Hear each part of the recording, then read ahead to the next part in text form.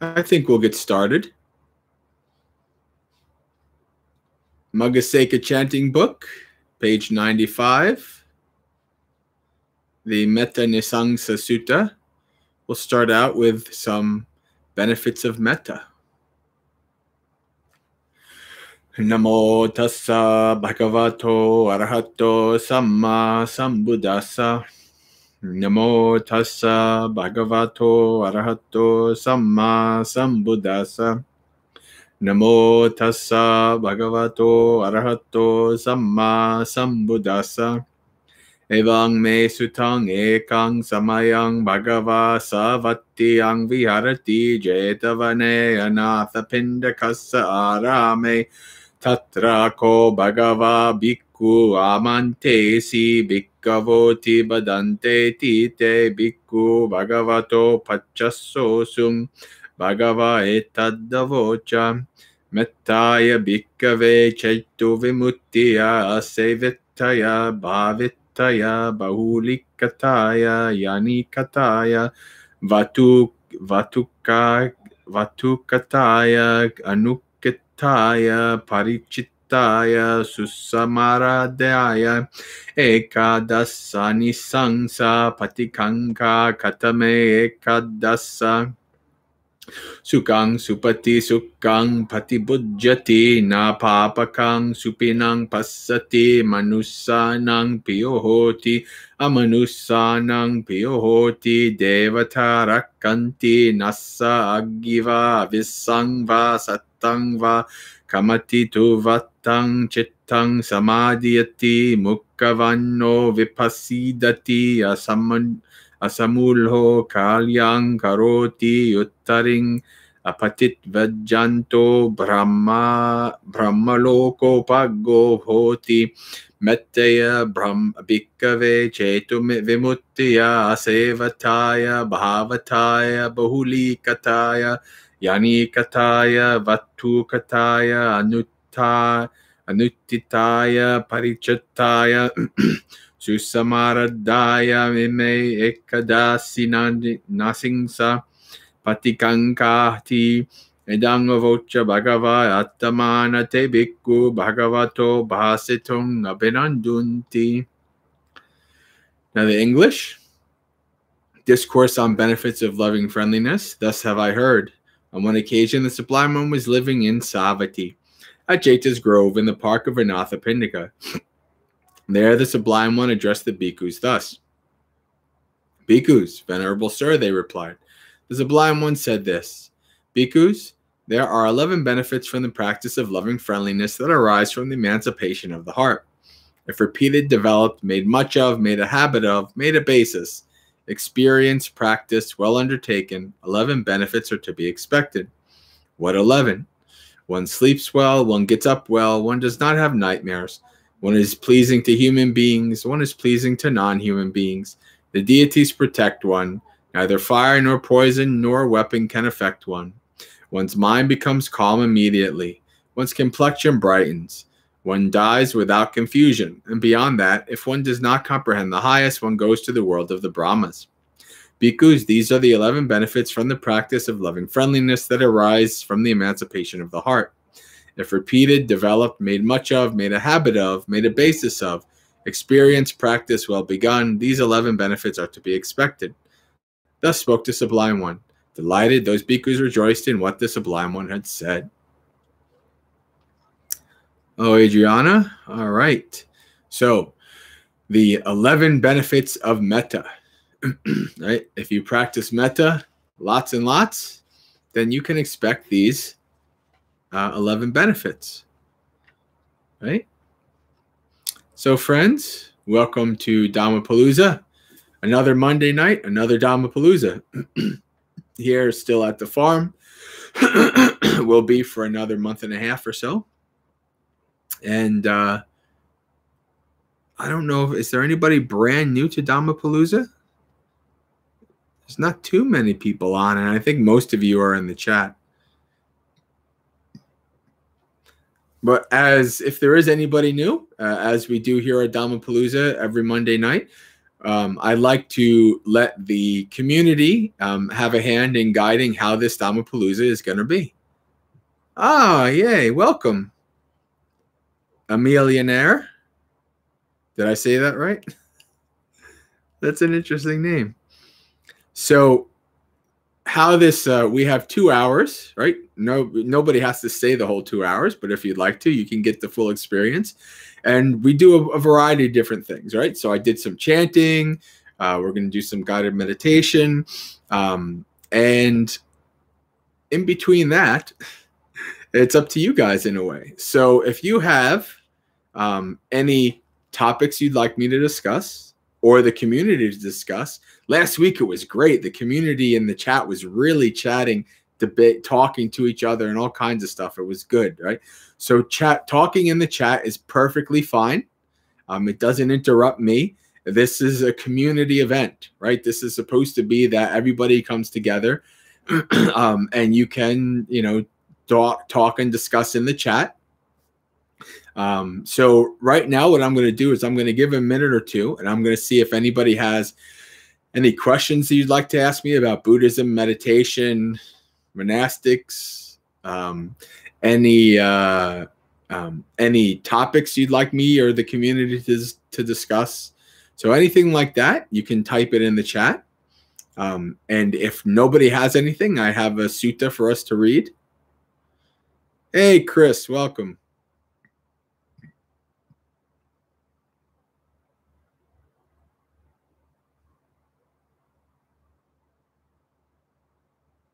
Oh, a millionaire is on the Discord with us. Okay. Very cool.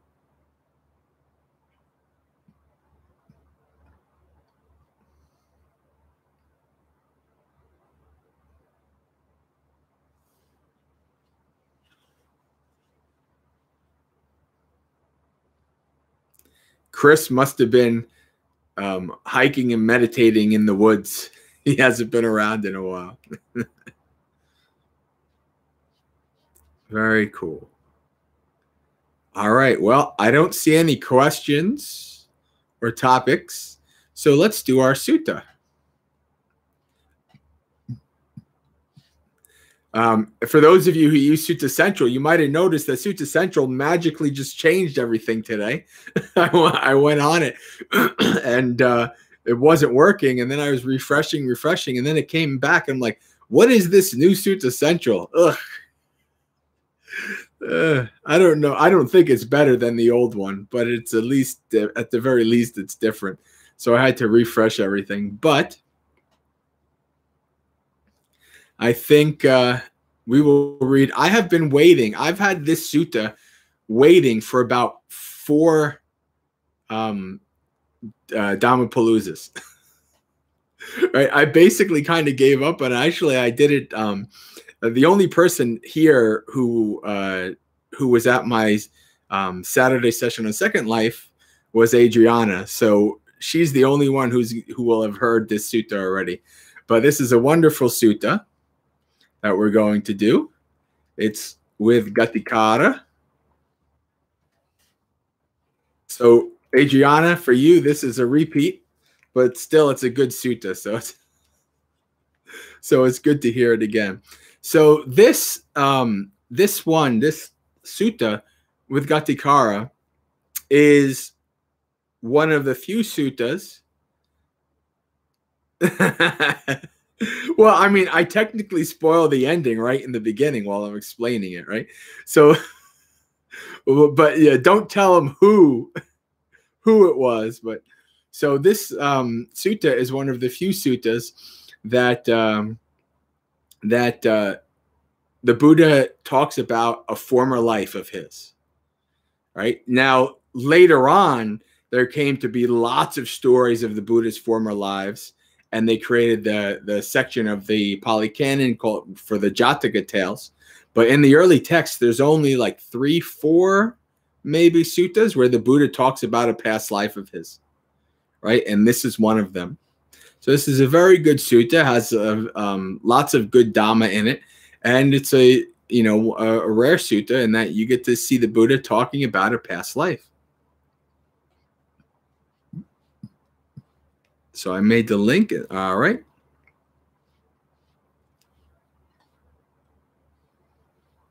All right. I'm going to refrain from being grumpy about the new SuttaCentral. How the heck do I do this? Where is it? All right. Okay.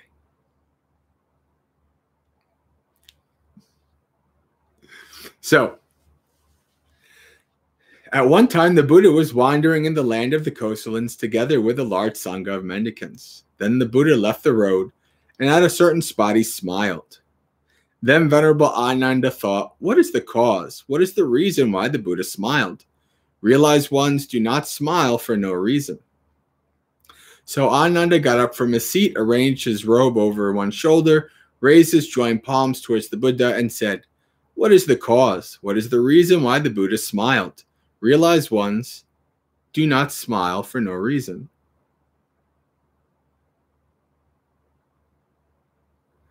Once upon a time, Ananda, there was a market town in this spot named Vebhalinga. It was successful and prosperous and full of people. And Kassapa, a blessed one, a perfected one, a fully awakened Buddha, lived supported by Vebhalinga. This is also one of the rare places in the sutras where you get to um, see a named um, and interact with a named former Buddha. It was here, in fact, that he had his monastery, where he sat and advised the Mendicant Sangha. Then Ananda spread out his outer robe, folded in four, and said to the Buddha, Well then, sir, may the Blessed One sit here. Then this piece of land will have been occupied by two perfected ones, fully awakened Buddhas. The Buddha sat on, on the seat spread out, when he was seated, he said to the Venerable Ananda, Once upon a time, Ananda. Every good story starts with one starts out with once upon a time, right? once upon a time, Ananda. That's uh that's Bhante Sujato making it nice. The the Pali word just says formerly. basically like in the past, um, there was a market town in this spot named Vebhalinga. It was successful and prosperous and full of people. And Kassapa, a blessed one, a perfected one, a fully awakened Buddha, lived and supported by Vebhalinga. It was here, in fact, that he had his monastery, where he sat and advised the mendicant Sangha. The Buddha Kassapa had a chief supporter in Vebhalinga, a potter named Ghatikara. Ghatikara had a dear friend named Jotipala, a Brahmin student. Then Ghatikara addressed Jotipala. Come, dear Jotipala, let's go to see the Blessed One Kassapa, the perfected one, the fully awakened Buddha. For I regard it as holy to see the Blessed One. When he said this, Jotipala said to him, Enough, dear uh. What is the use of seeing that baldy, that fake ascetic? So this word here, uh, mundaka, this is a very common, a little innovative Dhamma. So this word mundaka is a very common insult towards Buddhist monks um, in the suttas. Shaveling, shaven headed, shaven headed ascetic, right? So obviously, so at the time, you know, the Brahmins they had long hair, maybe like dreadlocks, even like really long, elaborate hair, and yeah, Baldy. And um, it was fairly common among some samanas, not all. Um, among the Buddhist tradition, uh, you know, other those who followed the Buddha, yes, they did. Um, but it was somewhat uh, common in the samana tradition, as far as I know, to shave your head. Right? It's a, it's another shaving your head and wearing robes is um, in this way is a way of kind of separating yourself, right? So that people know that you're different. So this, you know, kind of insignia of a bald head to a Brahmin was like, uh, you know, hey, I'm going to call you a, a shaven headed ascetic, shaveling, baldy, right? So that's where this is. For a second time and a third time, Ghatikara addressed Jotipala. Come, dear Jotipala, let's go to see the Blessed One, Kassapa, the perfected one, the fully awakened Buddha for I regard it as holy to see the Blessed One. For a third time, Jotipala said to him, Enough, Ghatikara. What's the use of seeing that baldy, that fake ascetic? Well, then, dear Jyotipala, let's take some bathing paste and powdered shell and go to the river to bathe. Now, the question is how did they bathe with uh, paste and a shell? that's a, that's an interesting question, right? I don't know. I'm sure somebody knows or somebody has a, an educated guess.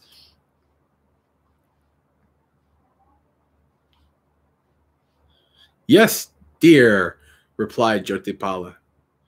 So that's what they did. Then Ghatikara addressed Jyotipala. Dear Jyotipala, the blessed the Buddha Kassapa's monastery is not far away. All right, you get what he did there now? he's trying to he's trying to get um you know trying to get Jyotipala to come see the Buddha and he's like no no no no no I don't want to see this you know um and he says well let's go take a bath in the river instead and as they're getting close to the river the Ghatikara is like well Buddha's not that far away. Let's go see the Buddha. Ghatikara is persistent. Hello Amy. Welcome.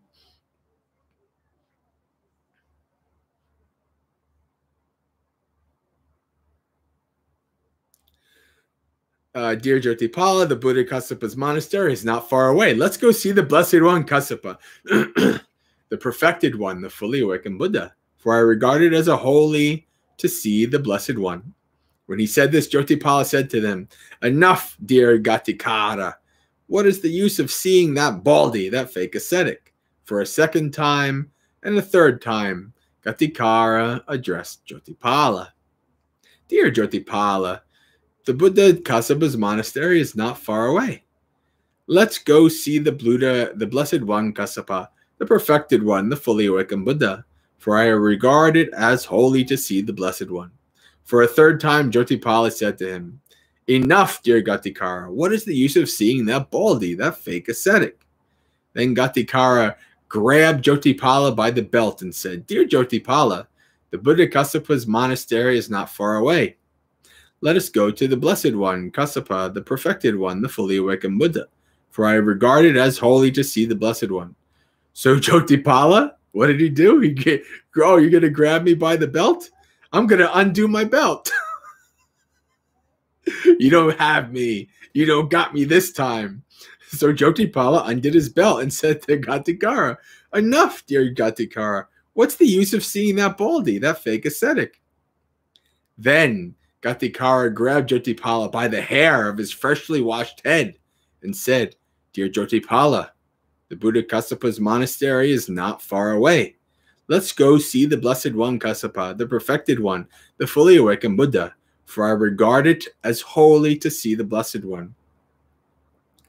Then Jyotipala thought, It's incredible, it's amazing how this potter Ghatikara, the born in a lower caste, should presume to grab me by the hair of my freshly washed head.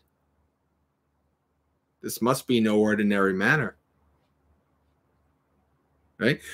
So, you know, obviously this lower caste person grabs a Brahmin by the hair. That's that's a no-no.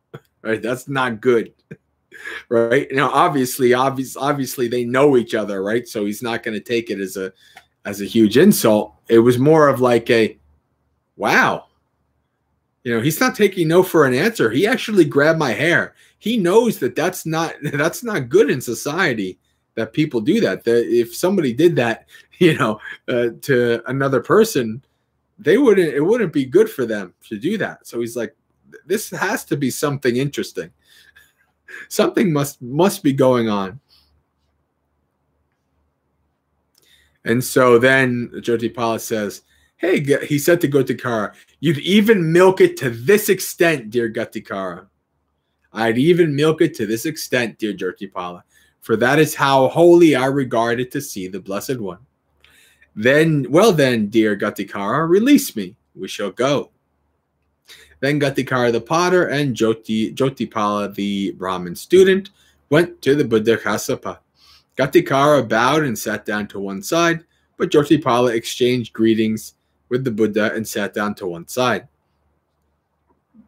So this is another thing where you see, if you read the sutras enough, you will see a variety of ways that people interact with the Buddha. Right? Ghatikara comes and bows and sits to one side. Jyotipala comes and says, Hey, what's up? How you doing? And then he just, you know, stands to one side, right? And there are some some that come and announce their clan. I am from the clan such and such. And then they stand to one side. And then there's some that don't do anything. They just totally silent and they stand to one side. Right. So this is the different the different greetings and the different levels of respect um, that are given depending on the person um, coming to see the Buddha. What's good, venerable sir? Yeah. yeah.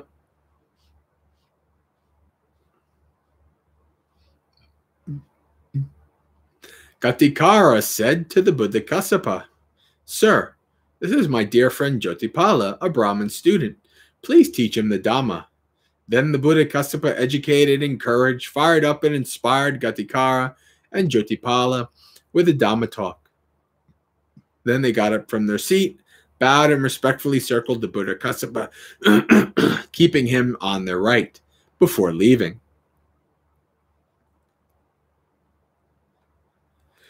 Then Jyotipala said to Ghatikara, Dear Ghatikara, you have heard this teaching. So why don't you go forth from lay life to homelessness? Don't you know, dear Jyotipala, that I look after my blind old parents? Well then, dear Ghatikara, I shall go forth from the lay life to homelessness. Then Ghatikara and Jyotipala went to the Buddha Kassapa, bowed and sat down to one side, Ghatikara said to the Buddha Kassapa.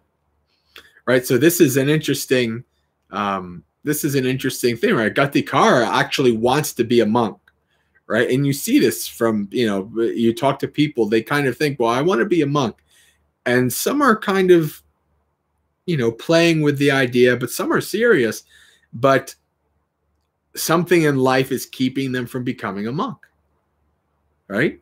So Ghatikara is one of these people he has to take care of his blind old parents.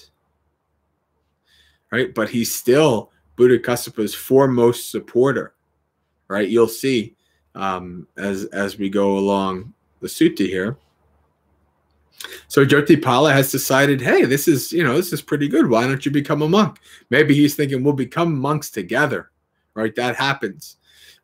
the uh the first 60 well after the first five ascetics but after that the the, the next 60 monastics the next 60 bhikkhus that were became bhikkhus under the buddha were actually all young men of a certain town who were following their their you know their popular friends into becoming monastics.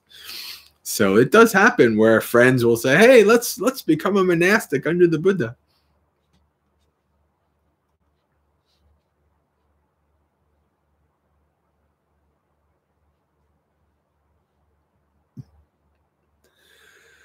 Uh, Ghatikara. Uh, see now, look. Then Ghatikara and Jyotipala went to the Buddha Kassapa, bowed. They both bowed, right? So after hearing a talk, after being gladdened and uh, raised by Dhamma from the Buddha, now Jyotipala bows and sat down to one side. Ghatikara said to the Buddha Kassapa, Sir, this is my dear friend Jyotipala, a Brahmin student. Please give him the going forth.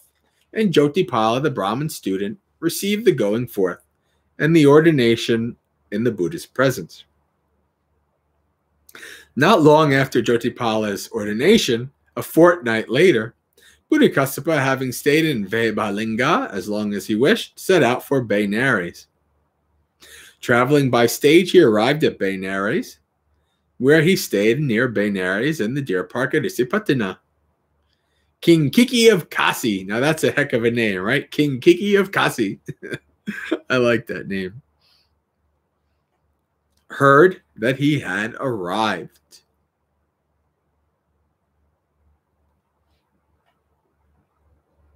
So you have ancient Buddha, and now you have ancient king. Before King Pasenadi and Bimbisara.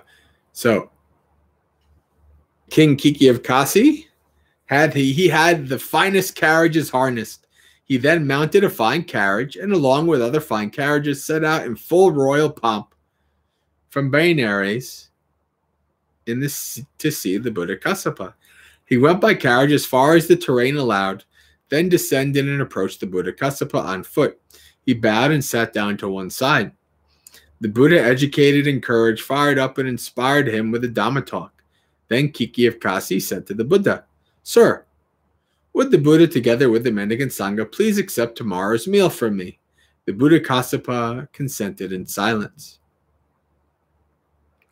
Then, knowing that the Buddha had consented, King Kiki, uh, Kiki got up from his seat, bowed, and respectfully circled the Buddha, keeping him on his right before leaving. And when night had passed, King Kiki had a variety of delicious foods prepared in his own home soft saffron rice with dark grains picked out, served with many soups and sauces. Then he had the Buddha inform of the time, saying, Sir, it's time. The meal is ready. Ah, Chris is going already. It's a quiet night in the chat today. The total opposite of yesterday, but that's impermanence, isn't it? All right. One day it's active, the next day it's inactive. Such is the way. So,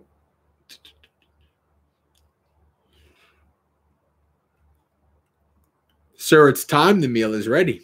Then Kassapa Buddha, robed up in the morning and taking his bowl and robe, went to the home of King Kiki, where he sat on one seat spread out, together with the Sangha of mendicants. King Kiki served and satisfied the mendicant Sangha headed by the Buddha with his own hands, with a variety of delicious foods. When the Buddha Kassapa had eaten and washed his hand and bowl, King Kiki took a low seat and sat to one side. There he said to the Buddha Kassapa, Sir, may the Buddha please accept my invitation to reside at Benares for the rainy season. The Sangha will be looked after in the same style. Enough, great king. I have already accepted an invitation for the rain's residence. For a second time, for a third time, King Kiki said to the Buddha Kassapa, Sir, may the Buddha please accept my invitation to reside at Benares for the rainy season. The Sangha will be looked after in the same style. Enough, great king. I have already accepted an invitation for the rains retreat. Then King Kiki is thinking, the Buddha does not accept my invitation to reside here at the Rains Retreat in Benares, became sad and upset.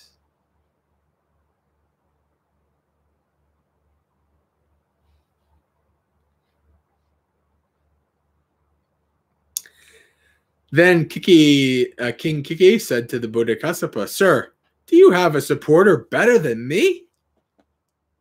Bad question to ask. if you, especially if you don't want the answer. Great king, there is a market town named Vebhalinga, where there's a potter named Ghatikara. He is my chief supporter.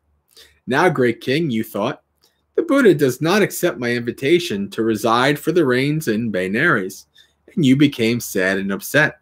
But Ghatikara does not get upset, nor will he. Ghatikara has gone for refuge to the Buddha, the teaching, and the Sangha.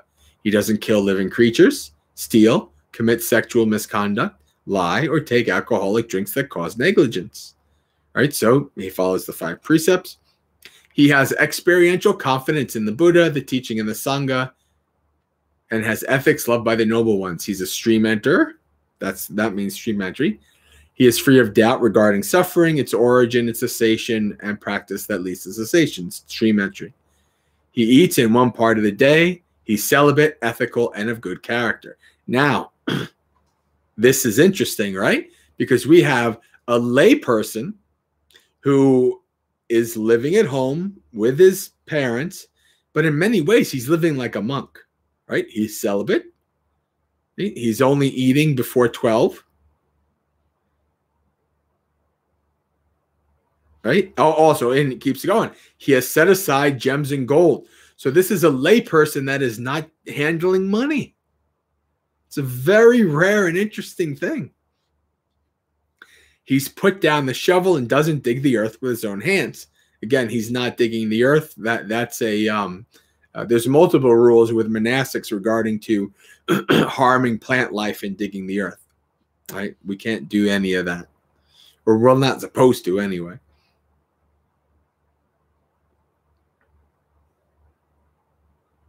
Which idea is that, Adriana? Millionaire, I'm glad that you're having a blast reading along. Very good. It's always nice to see somebody enjoy the suttas.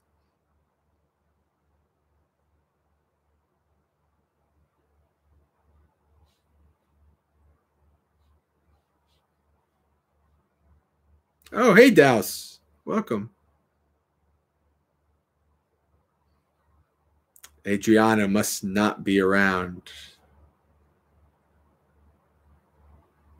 Well, they are. Suttas are intimidating. They definitely are. Um, it takes a while. And it also takes somebody who can make them a bit more relatable and fun, right? To get into them. Like I can remember my early days of reading the suttas. Like the only thing I could do, I I mean, I, I could barely read for many years. I didn't like. I'm gonna read all of the Majjhima Nikaya, all of this such. I didn't do any of that. I didn't do that. I basically, one of my favorite things to do was to go to access to insight.org, and they had a um, they had a little button called random sutta.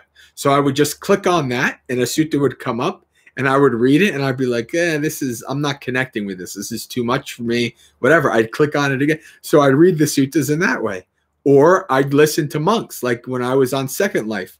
The people, if you know about me on Second Life, that was my online sangha. That was the only sangha I had. That was the only place I could listen to monks give talks, right, and be live, right. So that was my place, and I would hear the, the monks read suttas and things on that as well, right. And then once I became a staff member there, and you know I'm a layperson, and the woman Delani who was the co-founder of the place, she's like, I'd like you to do a sutta session. I'm like, a sutta session? I barely know. How am I supposed to do the sutta session? Like, you know, and it was a struggle. I mean, so we're talking, oh, what are we talking? 2010 ish? Yeah, about 2010 ish. So, I mean, I've come a long way in, in 11 years with the suttas, but I mean, it, at that point, 2010, I'd been, I'd been reading the suttas three or four years by that point, something to that effect. Right. So, I mean, it takes a long time. It's not easy, you know, and you have to kind of get over the repetitiveness, right? You have to kind of understand why it's there and that it's not a big deal. Um, Brandon, are you on our Discord? are you missing the Sutta memes? I don't know. yeah, we make we make the uh, Sutta memes. I do post them on my on my um, Buddhist memes album on Facebook. So if you're not on the Discord, you can do that. Um,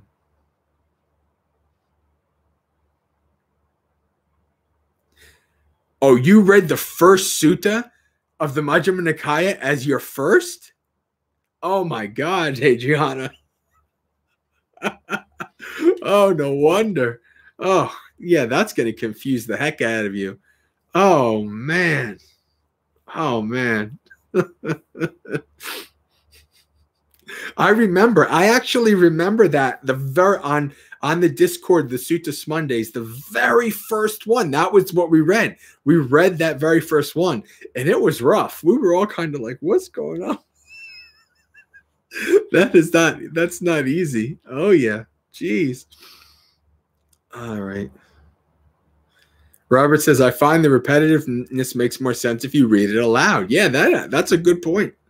Right? Remember, these texts were handed down orally. They're not like written book. Yes, exactly.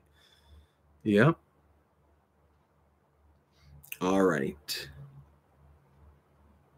So that's why if you really like suttas, come on the Discord and uh, join us for Suttas Mondays, where we read through the suttas. Right?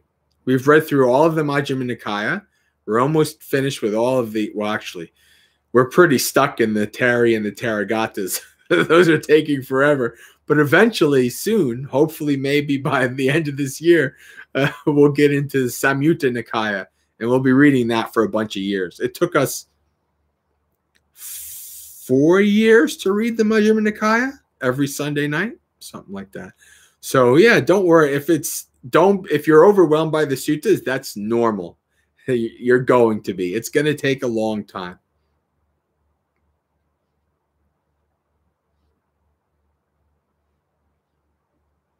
Okay, so let's get back to Ghatikara.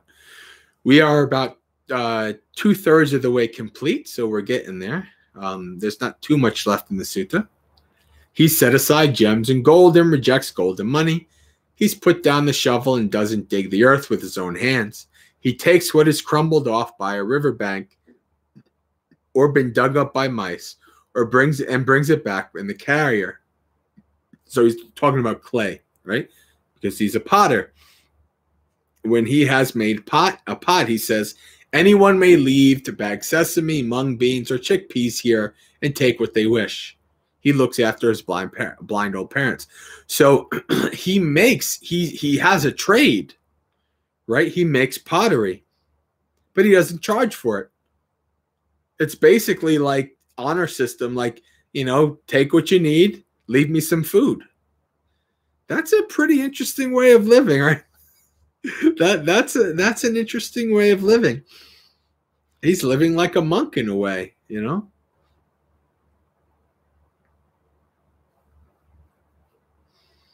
Robert says, which Nikaya is a good starting point other than the Majjhima? Um,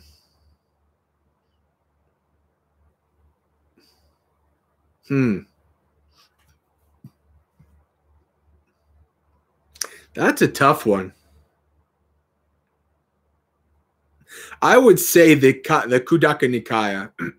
so that's the the Dhammapada, Itivuttaka, Udana, Theri and Theragathas. Like those are are good places to start, right? Sutta Nipata, which is among the oldest of all the Buddha's teachings, right? So all of those smaller books, other than the Majjhima Nikaya, is a good place to start.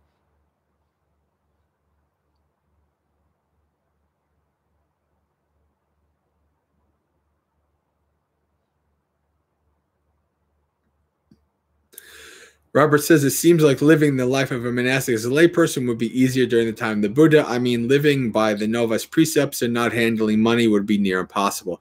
Um, yes and no. Like I have met people who essentially live like I was a I was a monk and I was living in a monastery and I met lay people who worked less and practiced more than me.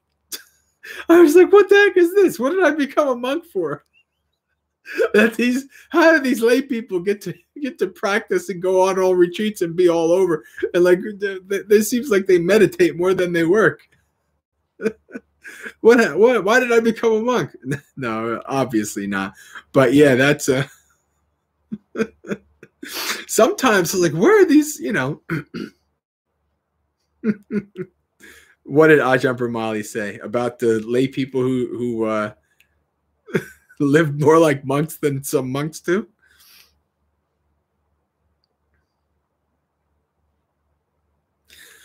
So, what I would say is if you can try to live by the eight monastic precepts, right? So, eight monastic precepts includes money. Like, there's no, like, it's when you go up to the 10 precepts, that's when you lose money, right? Um, and also, as we get along, Ghatikara is a noble one. He's he's not a regular person, right? Um, he's he's higher than a stream enterer too. So that's a different. That is a different story as well. Um, but um,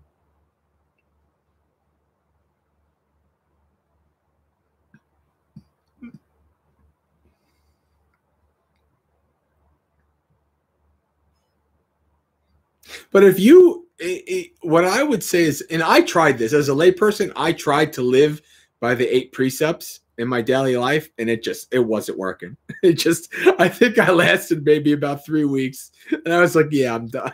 I'm done with this. I'm a layperson. you know, I mean, I might I might be on the road to becoming a monastic, but I'm not. This is not going to work right now. So.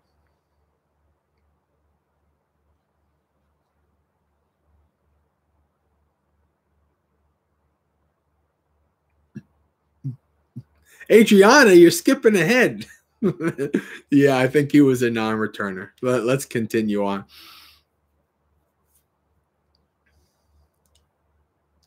And since he has ended the five lower fetters, that's your key right there. If he's ended the five lower fetters, he's a non-returner. The last five fetters, cutting them off, is reserved for arahants only. Right? So Ghatikara will be reborn spontaneously and will become extinguished there, not liable to be returned from this world. then this one time, great king, I was staying near the market town of Vebhalinga. Then I robed up in the morning and taking my bowl and robe, went to home of Ghatikara's parents, where I said to them, Excuse me, where has Bhaggava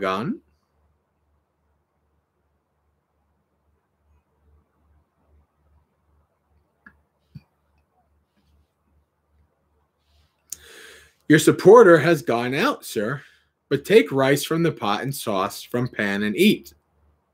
So his blind parents are like, oh, hey, the Buddha's here. Have some food. No problem.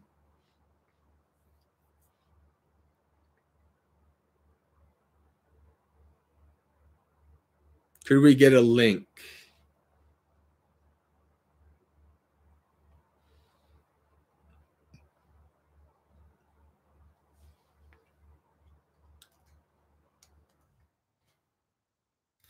We're at uh, section 19.5.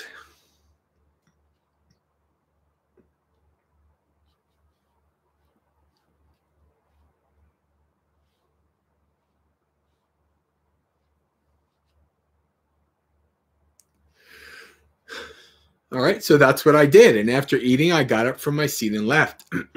then Ghatikara went up to his parents and said, Who took rice from the pot and sauce from the pan and ate it and left? It was the Buddha Kassapa, my dear. Then Ghatikara thought, I'm so fortunate, so very fortunate, and that the Buddha Kassapa trusts me so much. Then joy and happiness did not leave him for a fortnight or his parents for a week.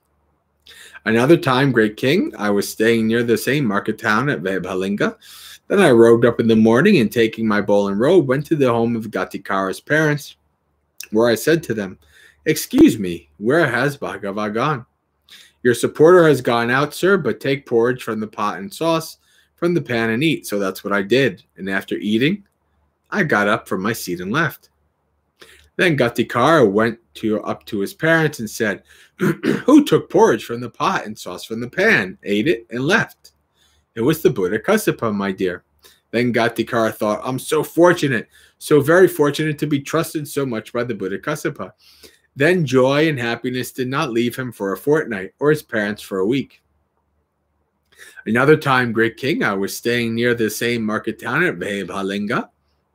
Now at the time my hut leaked, so I addressed the mendicants. Mendicants, go to Ghatikara's home and find some grass. When I said this, those mendicants said to me, Sir, there's no grass there, but his workshop has a grass roof. Then go to the workshop and strip the grass. So that's what he, they did. Then Ghatikara's parents said to those mendicants, Who stripped the grass from the workshop?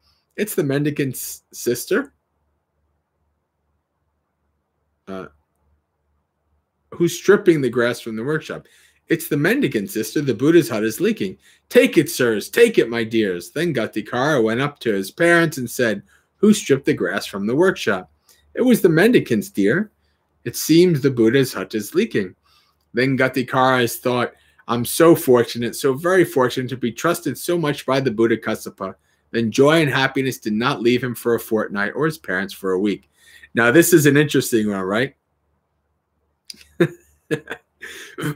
it's only a only a Buddha to his most trusted uh, lay disciple is, is they're going to be like, ah, we'll just take your roof, no problem right? There's actually rules in the monastic code that monks don't do this kind of thing, right? Like there's a rule like because a monk took like the the wood from the king's stores, right? He's like, oh, the king doesn't mind. Sure, I'll let me take this wood, right? So there's all kinds of rules like in this regard where like this would be not a good thing for monastics to do.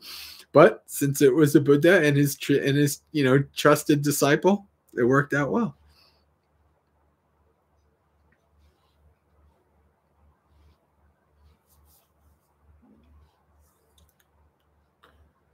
Uh, da, da, da, now, uh, then joy and happiness did not leave him for a fortnight or his parents for a week.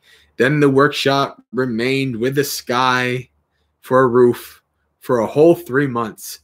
The sky for a roof. That's a good way of putting it, right? But no rain fell on it. And that great king is what Ghatikara the potter is like. Ghatikara the potter is fortunate, very fortunate, to be so trusted by the Buddha Kassapa. Then King Kiki sent out 500 cartloads of rice, soft saffron rice, and suitable sauce to Ghatikara. Then one of the king's men approached Ghatikara and said, These 500 cartloads of rice. Wow. you're mad, you're just one guy with and two parents, and you get 500 cartloads of rice.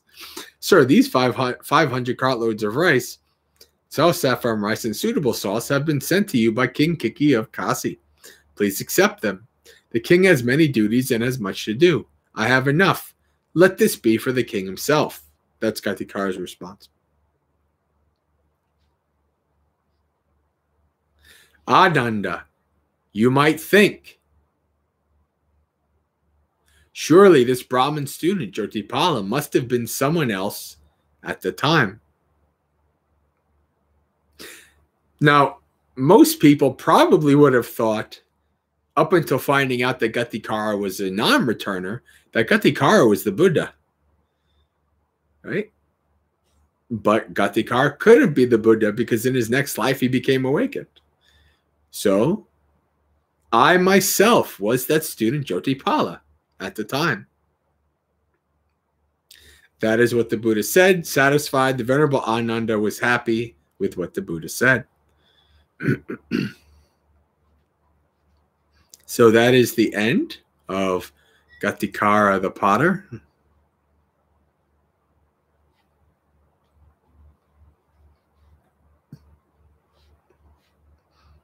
Let's check the chat here. Actually, I'm going to get a drink first because I'm getting a little.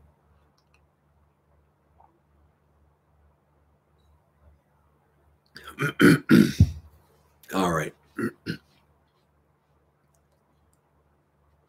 Of the eight precepts, I find false speech to be the one, the only one which I forget not to break until it's after it's too late. Speech is hard, right? Because speech, we're used to speaking without thinking too deeply about what we're going to say. That's why mindfulness is needed, right? Mindfulness, sati, the um, sati has the, the twofold meaning of recollection and present moment mindfulness, right? So we need to remember to be mindful, right? We need to remember, we need to train ourselves to develop mindfulness so that when we speak, we, as I like to say, think twice, speak once, or act once, right? Like the old, if you've worked around carpenters or if you cut wood or stuff, measuring and cutting, the old saying is measure twice, cut once, right? So I've adapted that. I say, think twice, speak once, right? And that's a that's a good way to help you remember to think before you speak.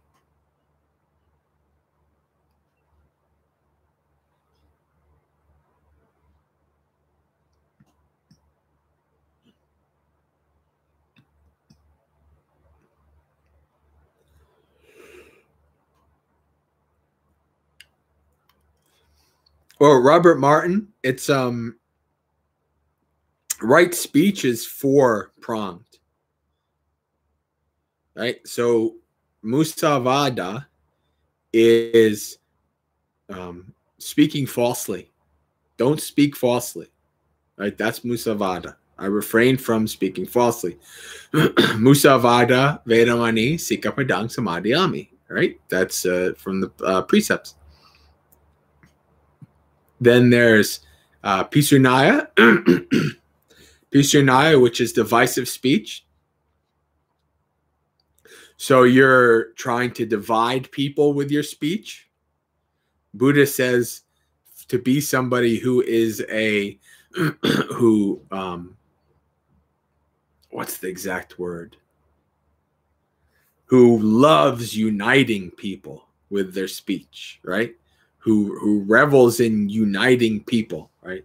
And so don't be a divider, be a uniter right? So that's the Pisunaya.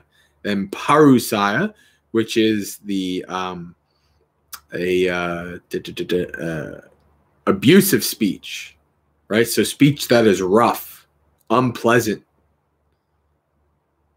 right? Some people say like cursing a lot and things like that. Um, I don't know if I 100% agree with that, but if you're among friends and you're that's what you do is curse, it's not quite the same because this is meant this is meant to be saying words in a way that is not beneficial, not um, conducive to the person gaining any benefit from it or taking the words in a good way, right? so, not to be abusive in your speech. And of course, stuff like, um, you know like gaslighting and and you know stuff like that you can use your speech in ways that really are um, not physically abusive but mentally abusive right? So you have to watch out with that regard. And then the last one is samphappalapa which is blah blah blah right it's all it's just useless speech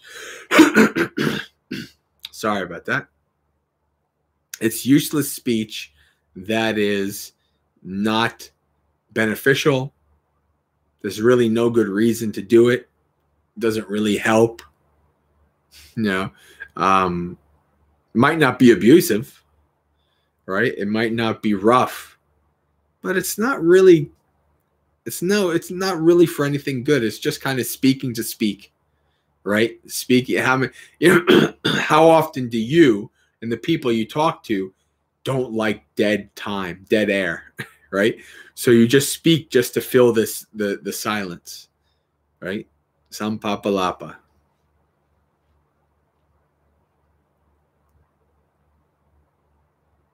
Yeah, yeah. My my preceptor Bhante G would always go Samphappalapa blah blah blah.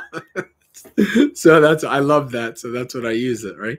Yeah, Samphappalapa is like an onomatopoeia. Is the, I think that's the word, onomatopoeia, where where it sounds like what it is.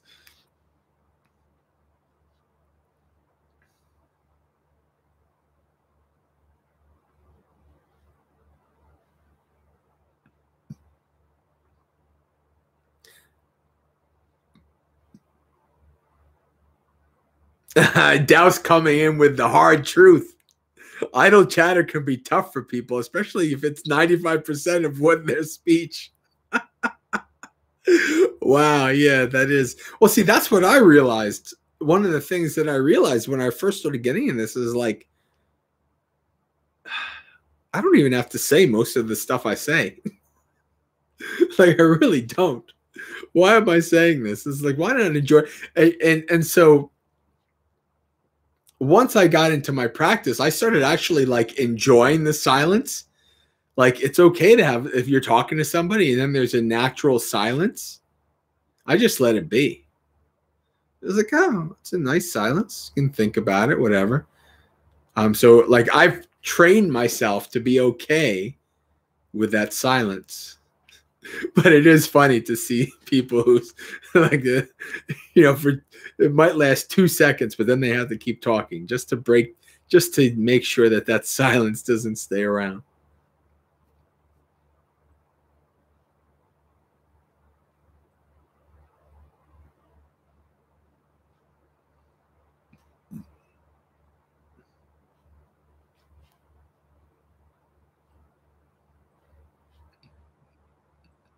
uh oh, and so now uh, we're talking about having to deal with family.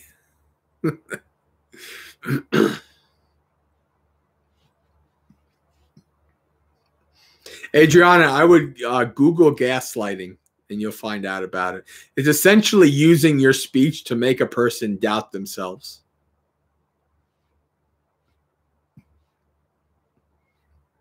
It goes deeper than that, but that's about as quick as I'm going to say about it for here. But if you Google it, you'll find more. You're still confused by it.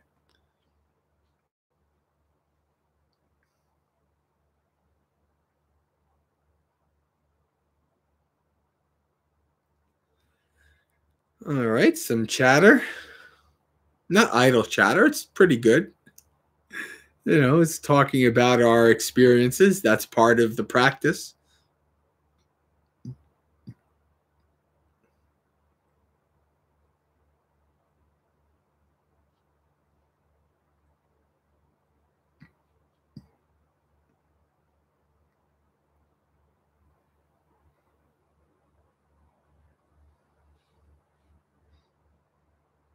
A millionaire says, "I'd like, I'd say that a double, it's a double-edged sword. Idle chatter can just as well lead to fights and arguments." Yeah.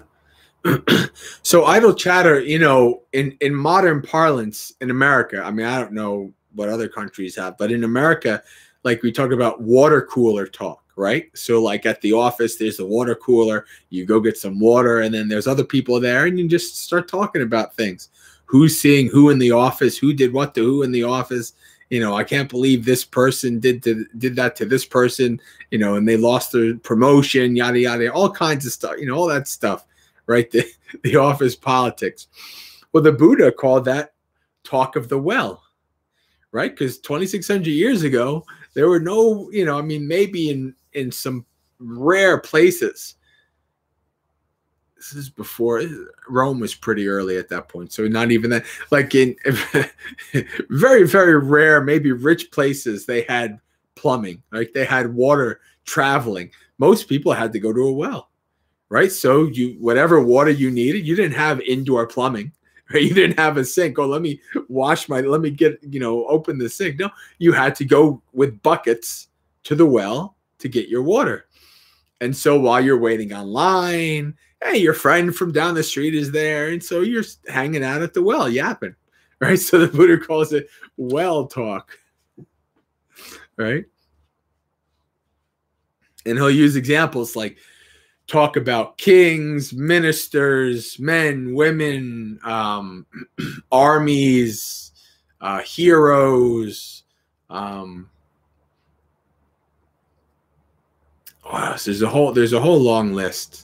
So, but uh, there's a lot of stuff that the Buddha considers well talk.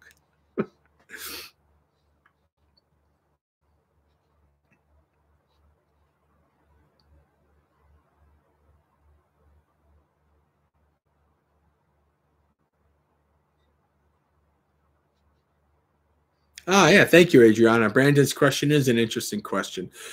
So, what I would say is Brandon asked, isn't idle chatter good for purposes of creating a good relationship? I would say that idle chatter is good for purposes of creating an initial relationship. Like, for instance, um, when I meet people, especially people who are on Buddhist, like I don't go to him, hey, uh, it's Bhante J. Uh, let me talk to you about sutta such as. Have you heard about this sutta? You know, that doesn't. Well, what is that going to do? They don't know, especially if they're not Buddhists. They don't know sutta this and Buddha, Four Noble Truths. I don't know. They, so they just, you know, hey, I'm meeting a monk. so I'll ask him like, hey, what, what, you know, what do you do for work? Da da da. And then you know, like, oh, hey, I did that, and you know, like like when I'll come up to um and when families are there, like the at Bobbin and like when I was in New York City, the kids would come, you know, with the parents to give food, and they'd be playing video games on their phone, and I'd look and I'd be like, "Hey, I remember that video game. I used to play that. Like, you know, so like, you know, it is a way of kind of making an initial connection, right? But it's not like if, if you start talking about like, hey, yeah, I was uh, you know, uh, Grand Theft Auto, and then I did this mission and I did that mission, and, and you start like just talking about in depth about it, then it's it's too much. it becomes it, its usefulness starts to wane after a certain point, right? It's good for making an initial connection, you know, a person to person connection, but for a long time, eh, you know, I mean, I don't know. Uh, I I think uh, after a time, it's kind of like, well, that's enough. It also depends on what you mean by idle chatter. I mean, one of the things I did with my my best friend from lay life was we would have parking lot chats. Like so we would just start end up talking about everything. We talk about the universe, you know, um, spirituality, politics a little bit. Like we would just have like these very deep talks. And I don't know. I guess you could possibly say that those were samphappalapa. But it also depends on the meaning behind it. Like they were actually like we were two young guys trying to find meaning in a way, you know? Um, well, not too young. I mean, I was like, I was like 27, 28, 30. So, but, you know, so it was an interesting thing. So think about the intention behind the talk. And if the intention is good, you know, if, if it's, you know, for some kind of development of yourself, then I guess it's, you know, it's okay. Especially for lay people. You know, a lot of this is, you know, for monks, a lot of this is a bit more strict, but for lay people, it's not that big of a deal. Um, you know, lay people have to kind of talk about kings and ministers, and you, know, you have to talk about like you know voting and you know who leads and who does this and who does that, all that kind of stuff.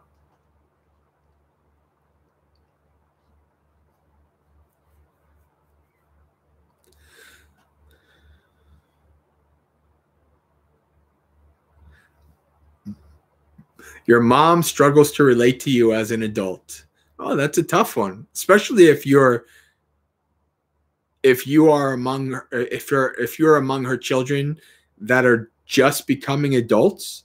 Like a parent, you mean I don't know if you have any older siblings or whatever, but like a parent is like, well, you know, in many ways, their kid never gets past like a couple years old. you know, like they still remember that baby, right? And so it's a hard thing for parents to kind of let the child die essentially and to develop a new relationship with the adult. Right? That's not an easy thing.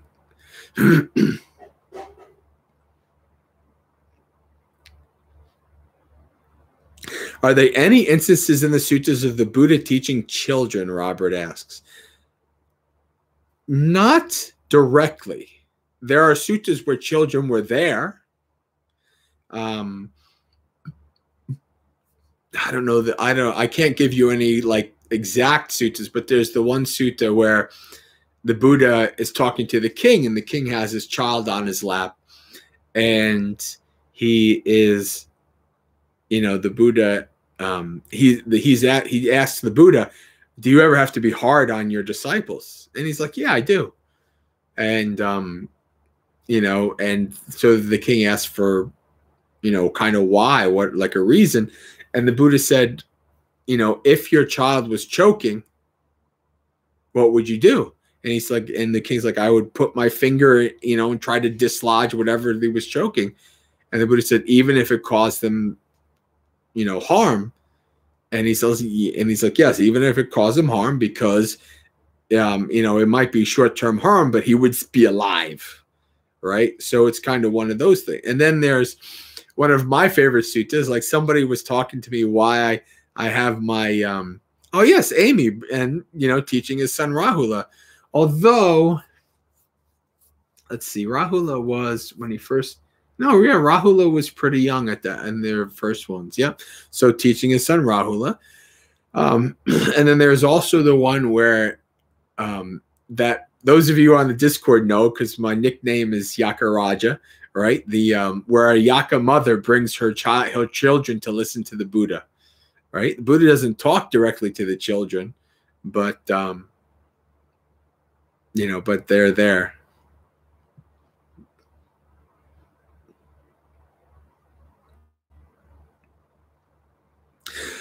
Robert says, I don't think it was really a thing during the Buddhist time other than for Rahula. I'm sure, like, when Buddha would give talks, you know, most of the talks say, you know, bhikkhus, and they don't mention anybody else.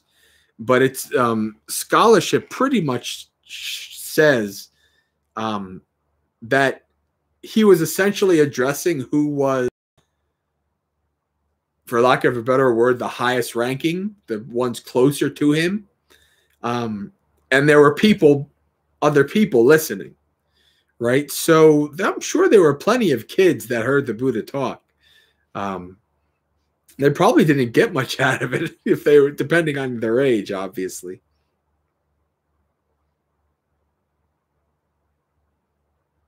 Aren't child monks common in Thailand?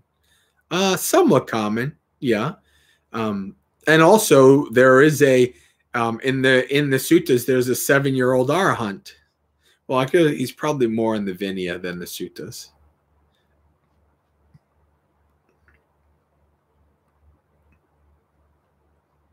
Hey, Ethan, welcome. What did I miss from Douse here?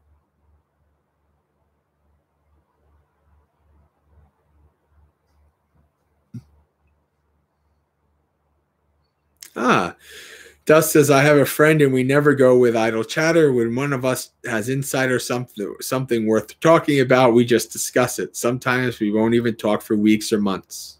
Yeah. That's how I am with my friend now. Every once in a while, um, we'll just send a few messages back and forth on Facebook.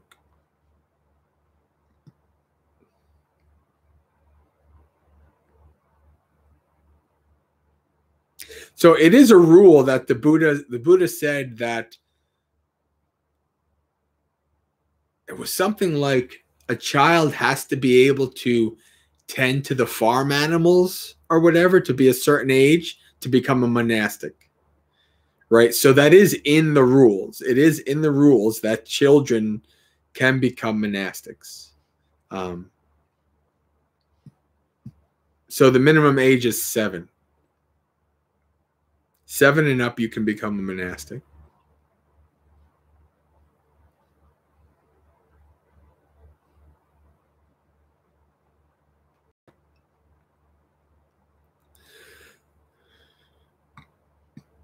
KJ says, I don't remember the sutta, but we decided to call it the Levinia. That's the um, Sigalovada Sutta, Digha Nikaya number 21. Yeah. I believe that was directed towards a child. Uh I don't think he was a child per se. I think he was pro- he was a young man. Um you know, he was probably I mean it's just guessing, but my impression was that he was late teens, early 20s. So it definitely wasn't like a child child.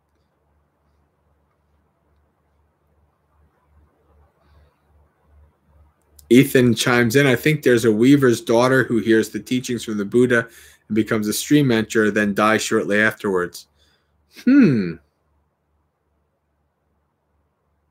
Ethan, that doesn't ring a bell. But if you find it, send it send it to me on the Discord because that sounds interesting. Yeah, Robert comes in and says Sigalovada Sutta, yeah. Digha Nikaya. Hello, Jim. Jim Salisbury. I remember reading about a child that had a photographic memory, and the Buddha involved him in teachings where he asked the child something like, What was the 40 the four? And he would say the Four Noble Truths. I don't know anything about that. I'm not I'm not familiar with that one.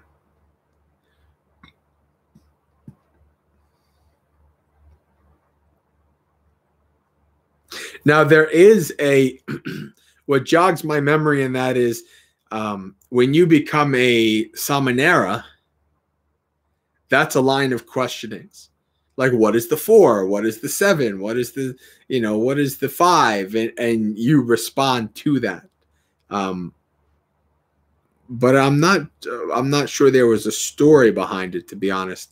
Could be wrong. It, it could be in the Vinaya, um, but it doesn't ring a bell there's a section in the um, Khandhakas called the the Pabbajja, the going forth, um, and I don't think I don't think that that's a story in there. But again, I'm not sure. There's you know when you're talking about thousands of pages, it's pretty hard to remember to make sure you know you know everything that's exact and where it is and all that kind of stuff.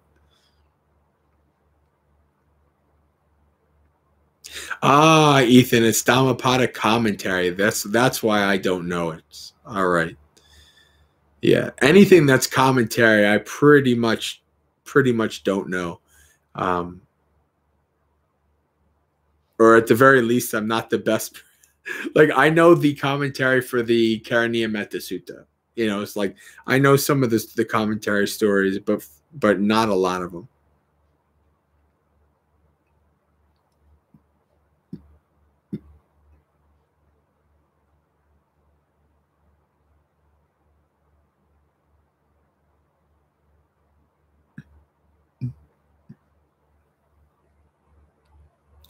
Is there some place I can read the commentary to the Dhammapada?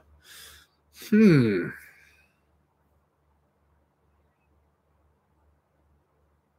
The commentary. That's a good question. Like I know that I know that there are books, Dhammapada books that also include the commentarial stories. But I don't know. Um, Robert, ask that question in the Discord remind me and I'll see if I can find anything that might be in a PDF form or something for you. Like I'm not sure the commentarial stories are available on like SuttaCentral, you know, for for instance.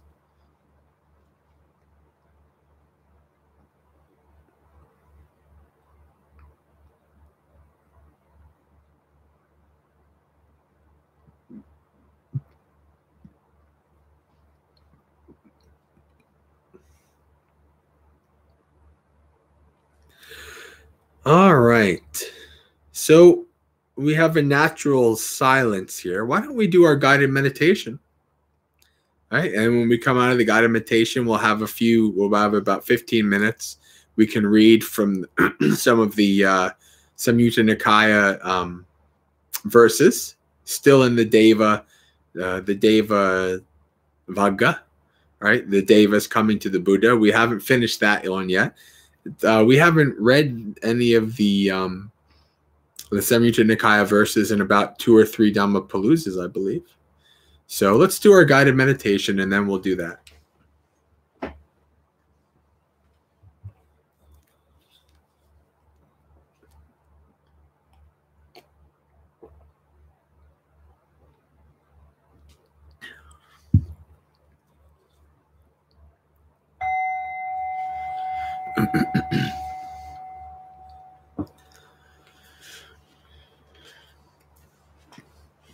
Set your body up in a comfortable and stable position that works for you.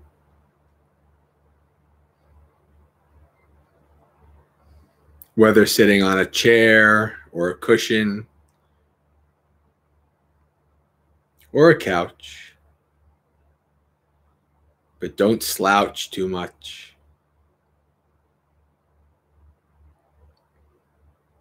If you're sitting in a chair or a cushion, do try to have your upper body as straight as possible with your spine in its normal curvature. You can lean against the back of the chair, that's fine, but don't put too much of your weight. Right? You're not trying to fully lean back.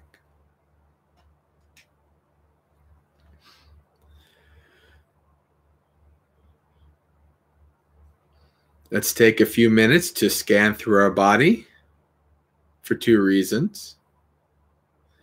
First is to start to bring our awareness from the external to the internal.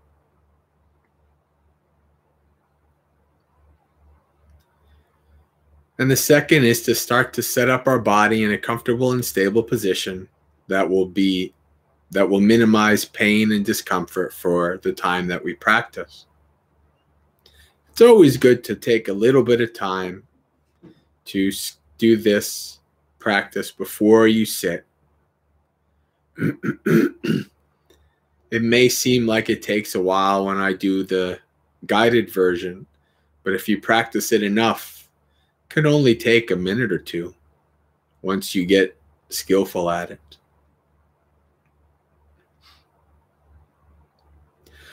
Bring your awareness to your feet.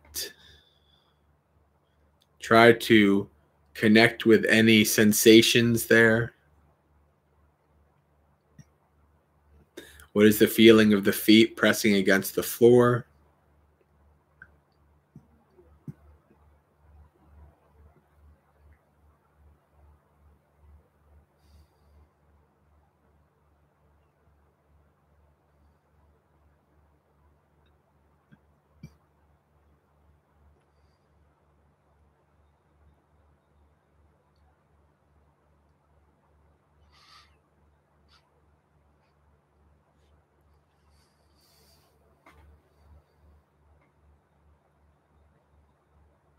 Bring your awareness up through your ankles to your calves.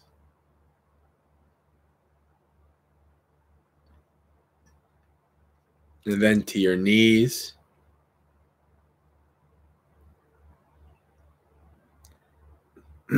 While you're scanning your body parts, if you notice anything that is causing an imbalance in your posture or small amounts of discomfort, now is the time to change your posture. Try to set your body up in such a way now that will lead to you moving as little as possible once the practice starts.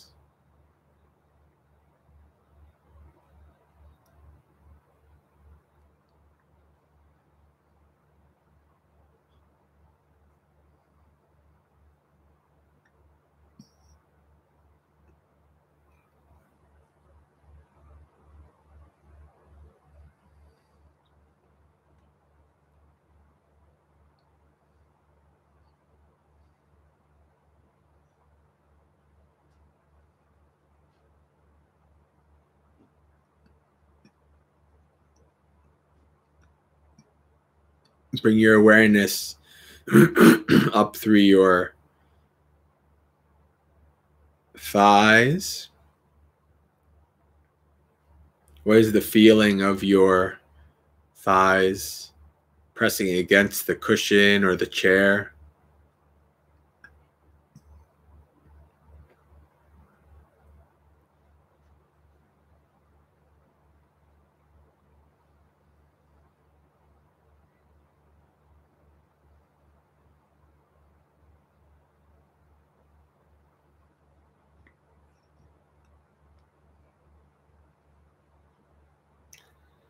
Bring your awareness to your hips and pelvis, buttocks. This is a very important part of your body, posture wise. the lower body acts as a firm foundation for the upper body to rest upon comfortably.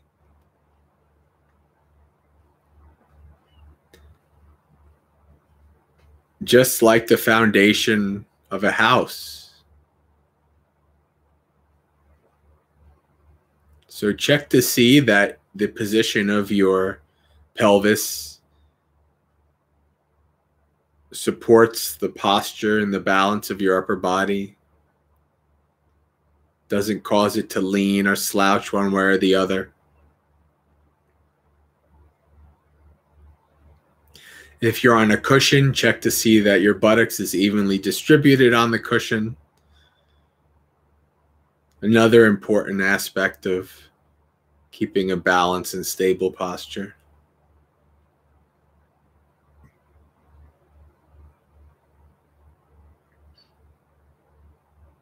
Take some time in this area to really investigate the impacts of how this lower body affects the posture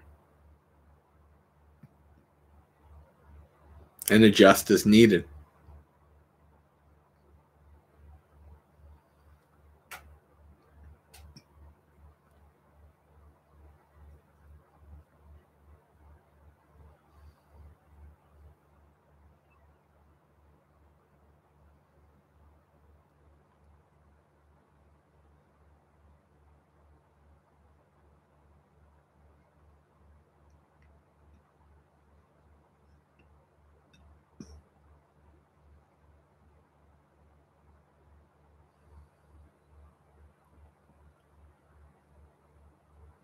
Move up into the upper body through the abdomen, the chest. Check to see that your spine is in its natural position, not stretched one way or the other, slouching or leaning.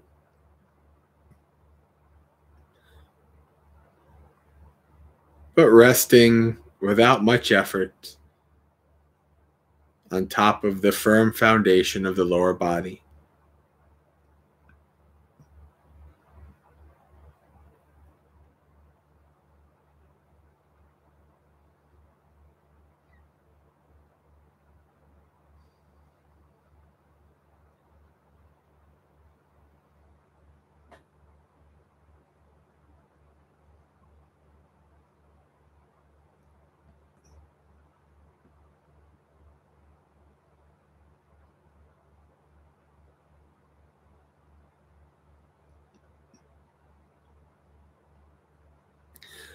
Bring your awareness to your shoulders.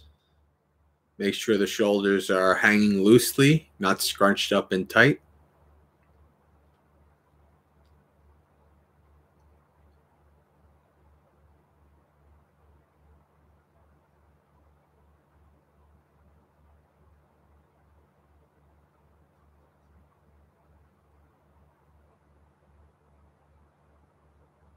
Bring your awareness down through your elbows and your hands. Check to make sure that your elbows and hands are in a comfortable position that supports the stability of your posture.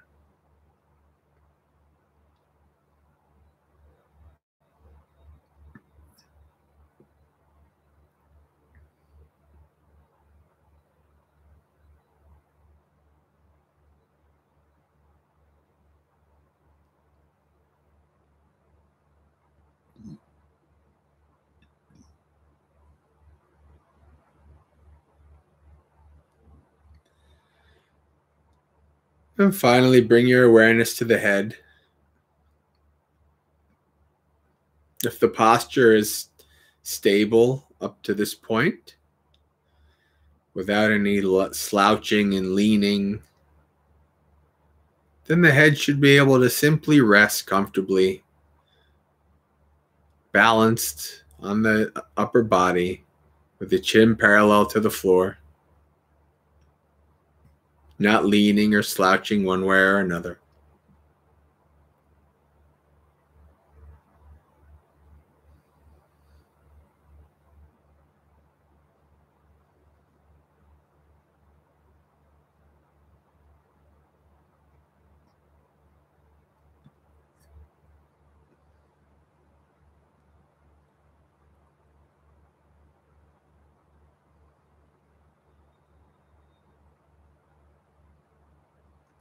And once you've set your body up in a comfortable and stable position, let the body go and take three deep breaths.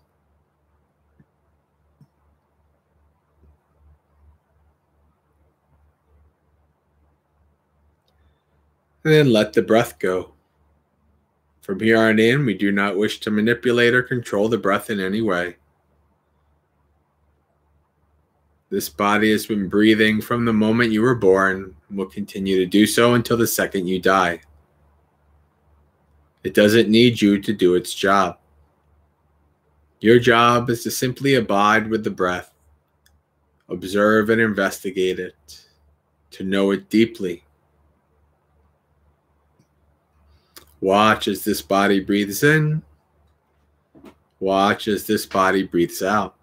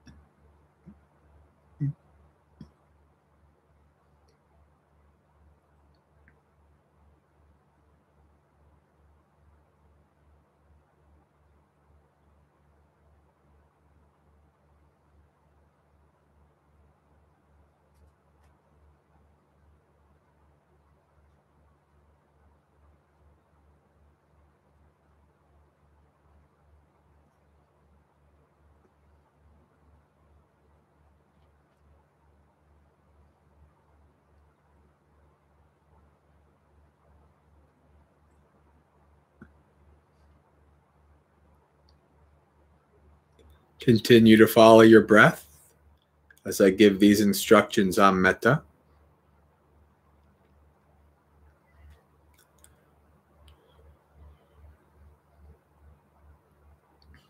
Metta practice is done with words and visuals, but the words and visuals are a means to an end. The purpose of metta is to develop a mind free of ill will, a mind full of friendship and goodwill for all beings.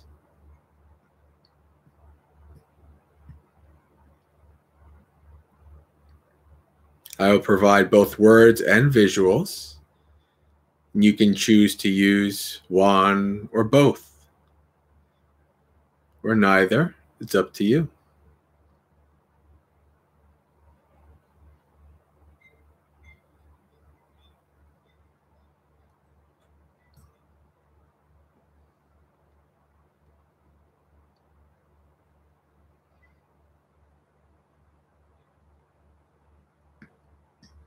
Let us start our metta practice for the person whom we are often the most critical, judgmental of, person whom we might even dislike the most.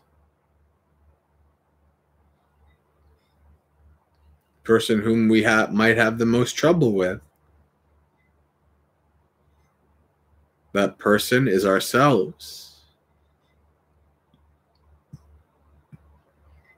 We cannot hope to give metta for the cosmos if we do not have it for ourselves. Because we are part of all beings that exist everywhere.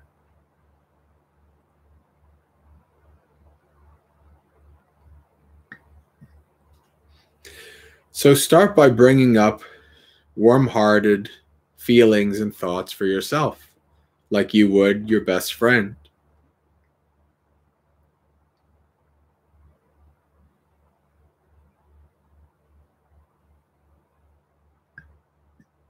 Let's take some time to develop metta within ourselves, to permeate this mind and body with goodwill. You can repeat after me. May I find happiness.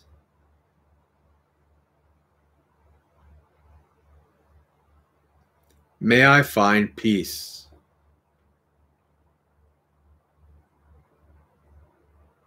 May I live in friendship with all beings.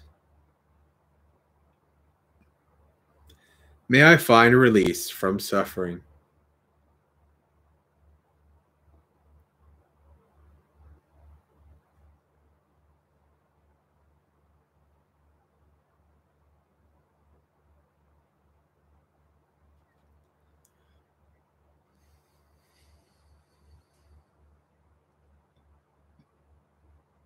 When you say these words,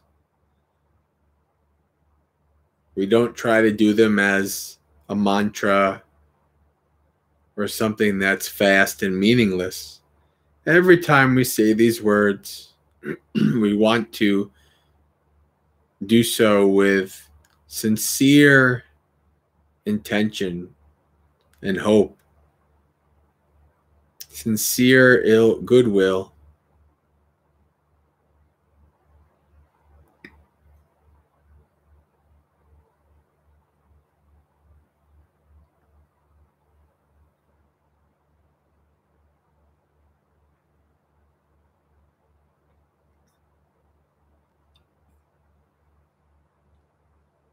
May I find happiness. May I find peace.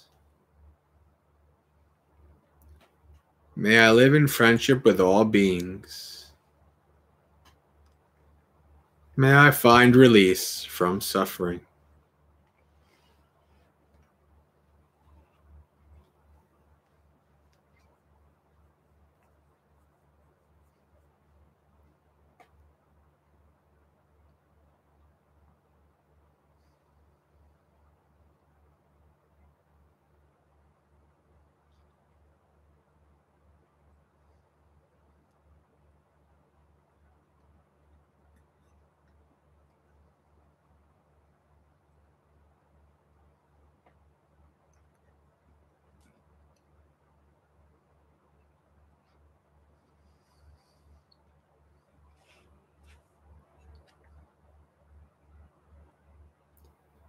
May I find happiness.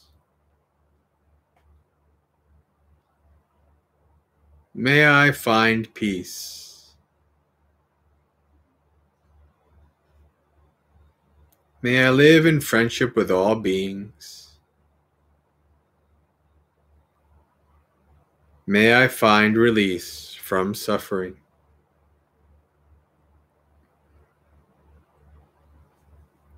If you like, you can imagine a sphere surrounding you. Pervade that sphere with your metta, with your limitless goodwill. Fill it up like air filling up a balloon.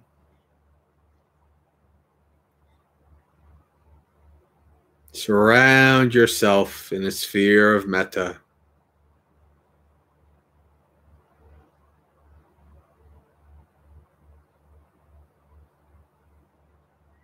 May I find happiness. May I find peace.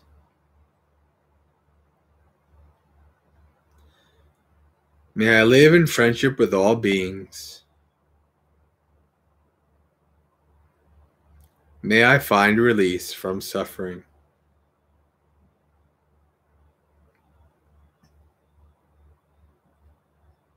Now spread that sphere out to encompass the entirety of whatever building you're in.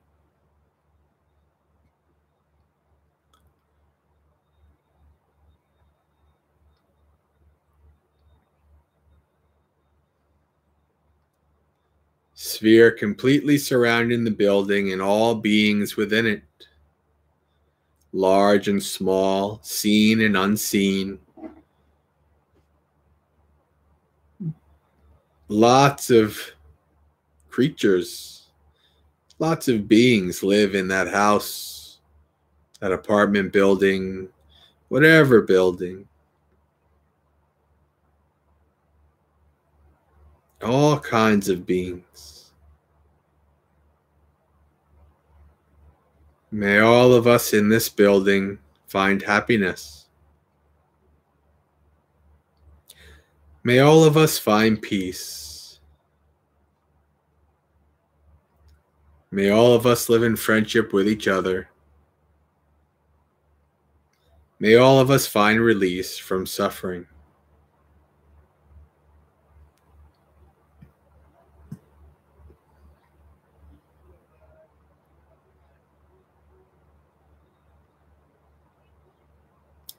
Spread your sphere to encompass the entirety of whatever town or city that you're in.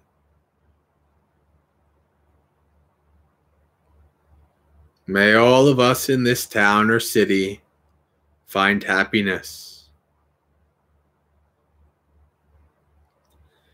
May all of us find peace. May all of us live in friendship with each other. May all of us find release from suffering.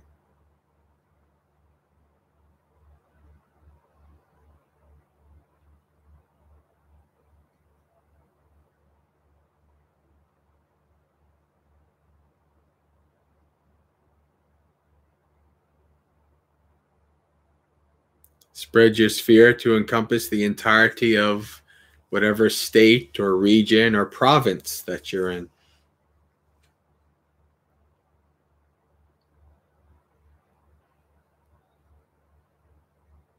May all of us in this state, region, or province find happiness.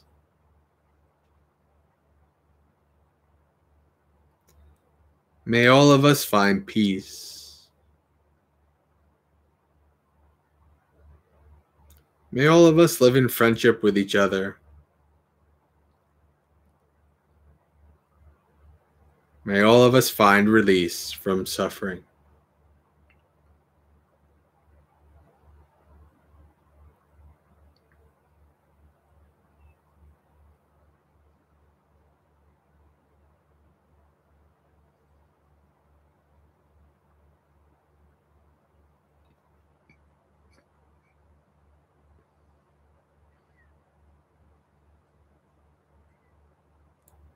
Spread your sphere to encompass the entirety of this earth.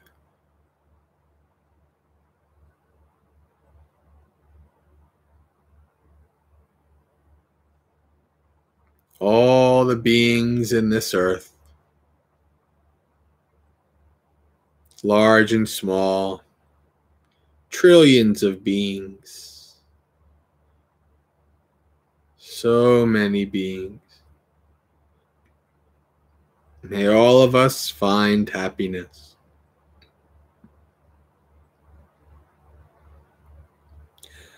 May all of us find peace. May all of us live in friendship with each other. May all of us find release from suffering.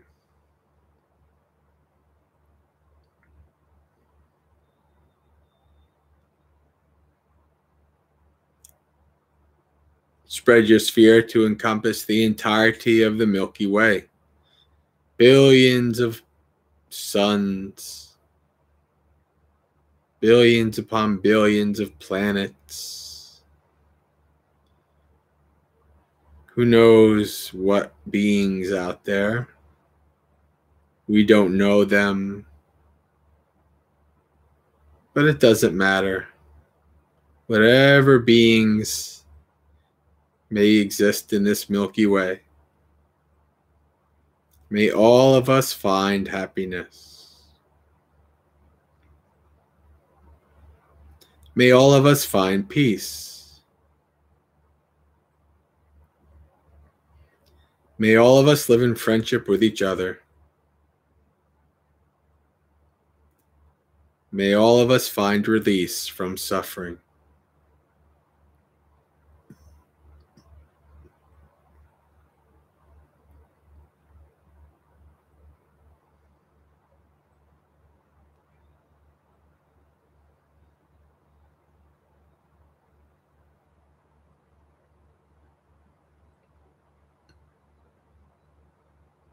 Spread your sphere to encompass the universe and beyond, wherever there might be beings in existence.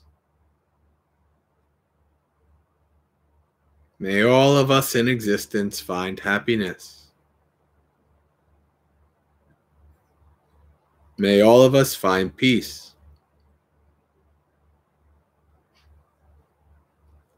May all of us live in friendship with each other. May all of us find release from suffering.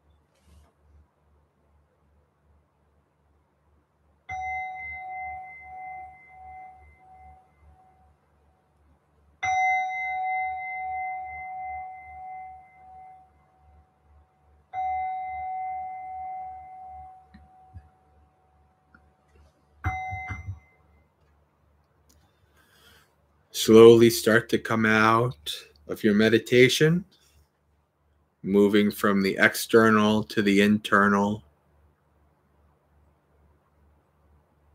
becoming aware and fully present in the room that you're in and the live stream.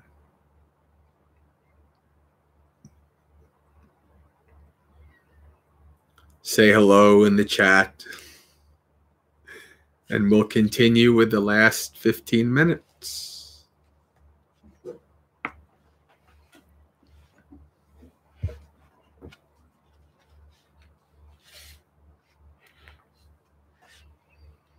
All right.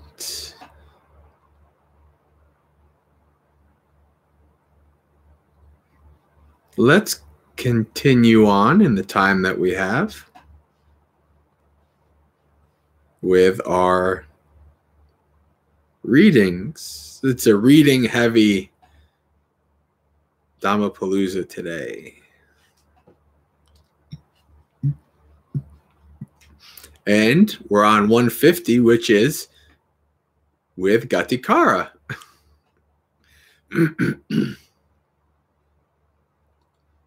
so it's a Ghatikara heavy Suttas Monday today as well, or uh, Dhammapalooza today as well.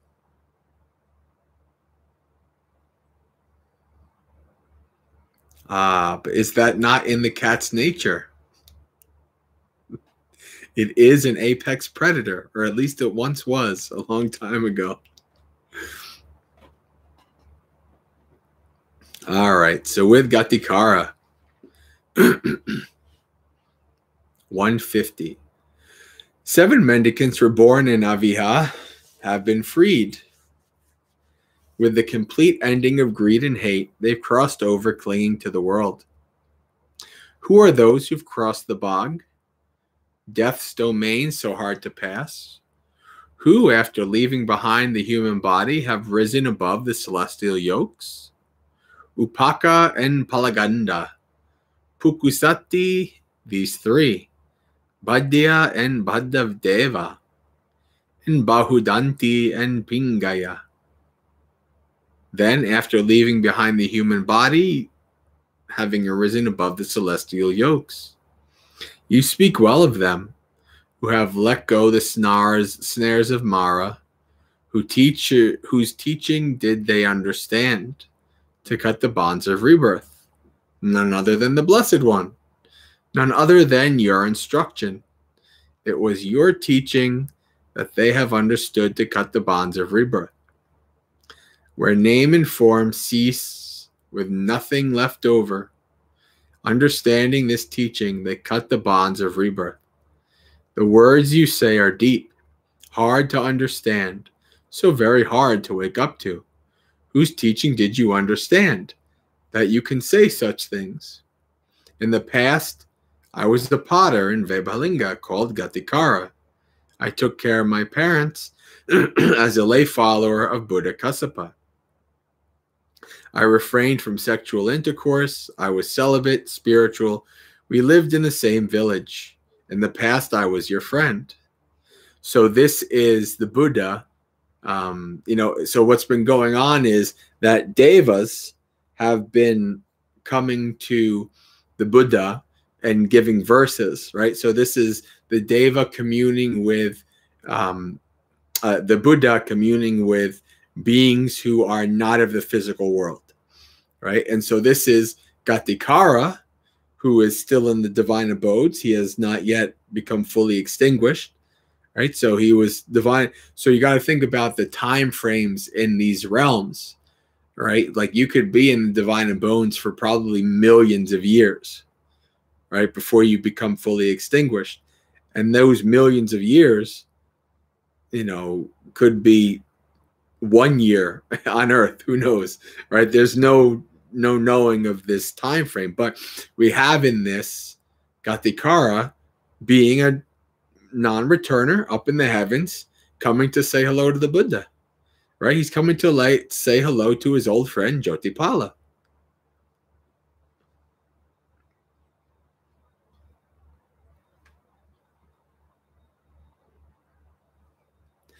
In the past, I was a potter in Vebhalinga called Ghatikara. I took care of my parents as a lay follower of Buddha Kassapa. I refrained from sexual intercourse. I was celibate, spiritual. We lived in the same village. In the past, I was your friend. I am the one who understands that these seven mendicants have been freed. With the complete ending of greed and hate, they've crossed over the clinging of the world to the world. That's exactly how it was, just as you say, Bhaggava. In the past, you were a potter in Vebhalinga called Ghatikara. You took care of your parents as a lay follower of the Buddha Kassapa. You refrained from sexual intercourse. You were celibate, spiritual. We lived in the same village. In the past, you were a friend. That's how it was when those friends of old met again. Both of them have developed themselves and bear their final body. That's pretty cool, isn't it? It's very poetic.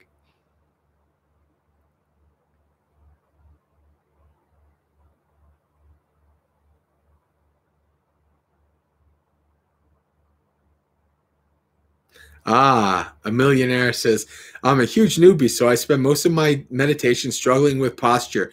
Get used to it. You will be for years to come. that is the way it is. That's normal. Right? I mean, I, you know, I've been meditating 16 years and I still can't meditate for an hour without any kind of pain or issue. Very rarely. Sometimes I can, but mostly not so much. And a lot of that has to do with your kind of your body and your personal proclivities and all kinds of stuff like that. Some people can get sitting right away. Like they like it's just okay. I'm oh, I'm a sitter. It's good. You know, I can sit for a long period of time. And other people struggle with it. right? But it's not easy for anybody. Um, but it is easier for some than others.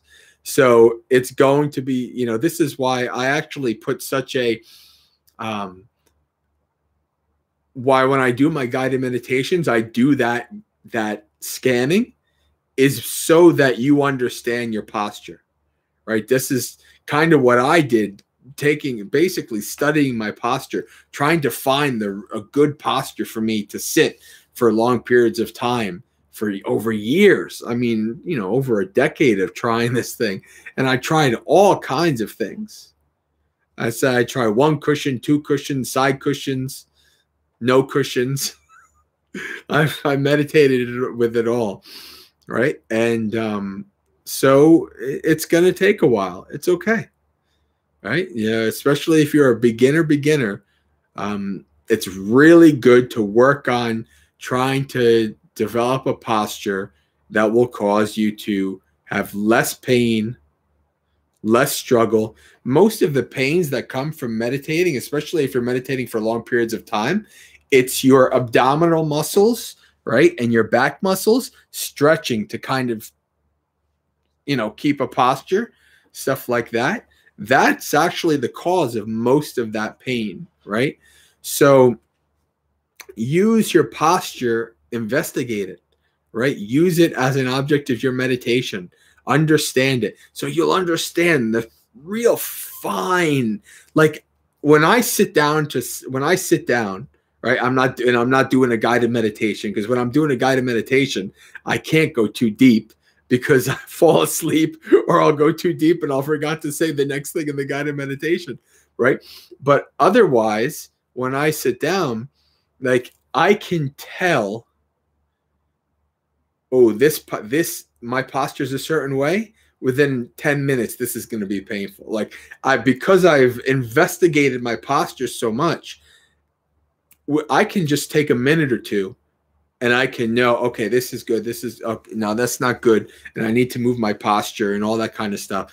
And because I've because of all the practice I've done with it, right? So you do that, investigate your posture, look at it, and you'll know, right? You you know over time you'll see if I sit like this. This is why if you ever do it like a retreat with me, I'm kind of going like this a lot in the beginning. Like people are just kind of like, you're just okay, I'm just gonna sit like this. But I'm like moving around, doing this, doing that. And then, but once I settle in, like I there's an interesting thing with when I get the right posture, when I get it perfect, I just go like that right into deep states of concentration, right into deep states of samadhi. Not jhanas obviously. I'm i'm like i said like most of you know i haven't gotten into jhanas yet and if i did i couldn't tell you.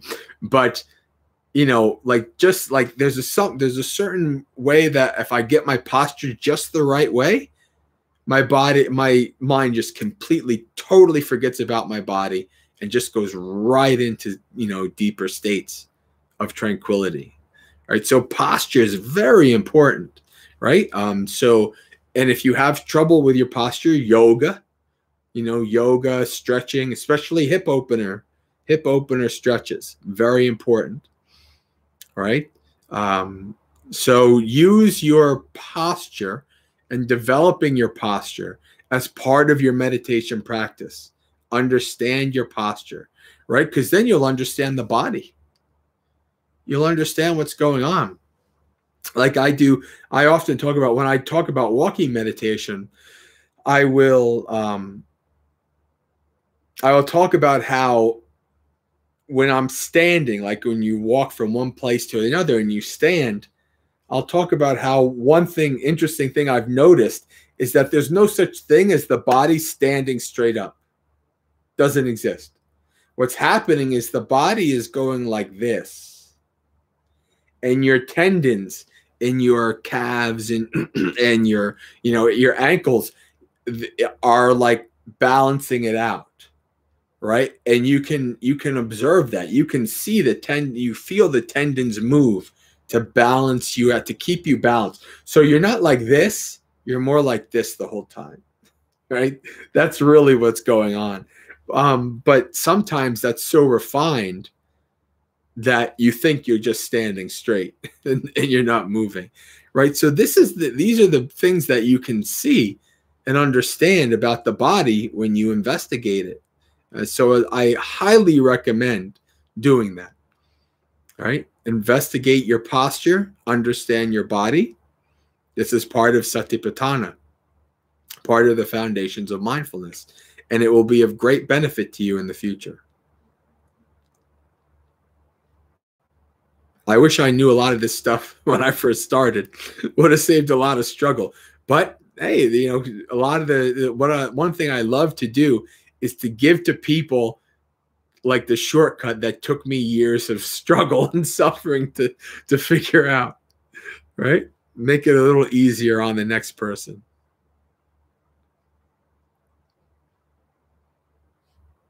All right.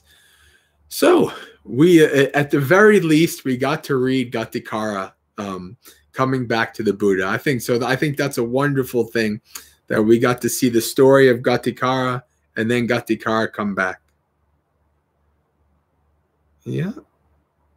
All right. Well, Adriana, interestingly enough, I would say that I avoided any kind of body scanning, like as it like doing it in a guided meditation until maybe about the last two years.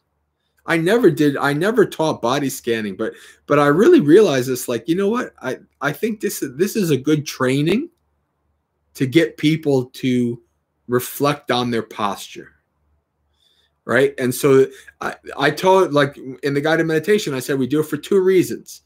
The first is that you're moving from the external to the internal right? And the breath can be very refined and subtle and hard to follow at first, right? So you focus on something more gross, right? So the grow the body is much more is not as subtle. It's gross.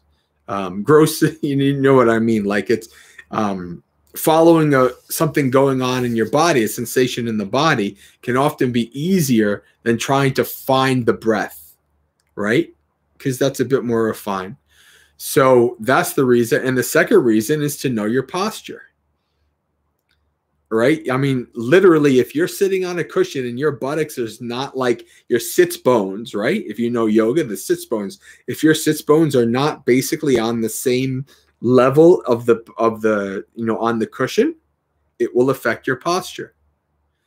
The the um the position of your elbows and your hands will affect your posture right? So you know these things, right? You as you practice, you see, oh, okay, oh yeah, this is I got to do this, you know, like you know, I got to move my position here so I can have a better posture, so that I can last, so that I can sit longer.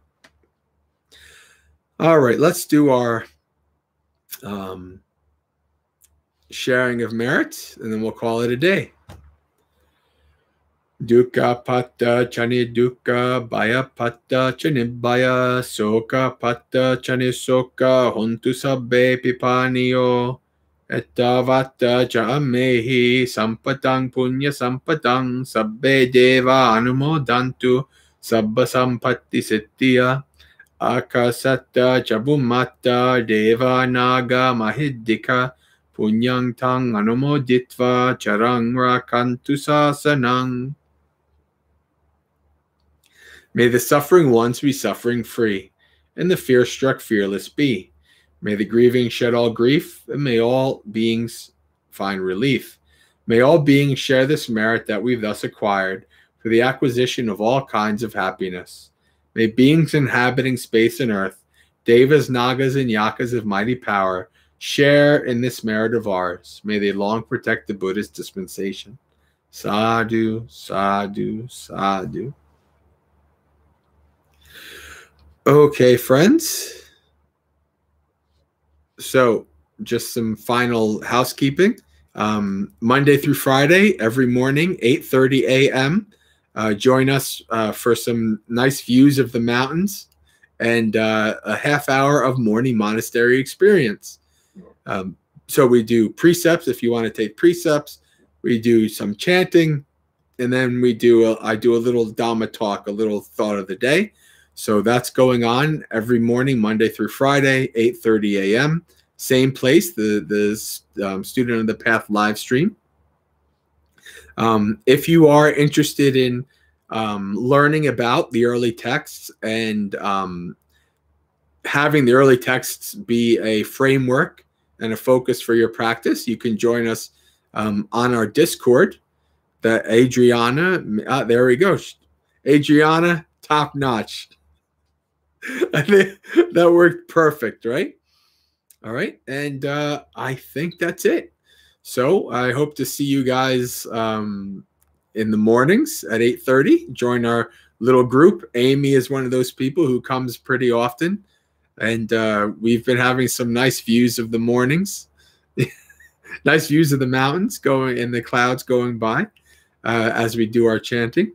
And um, so I've covered everything. Until next time, friends.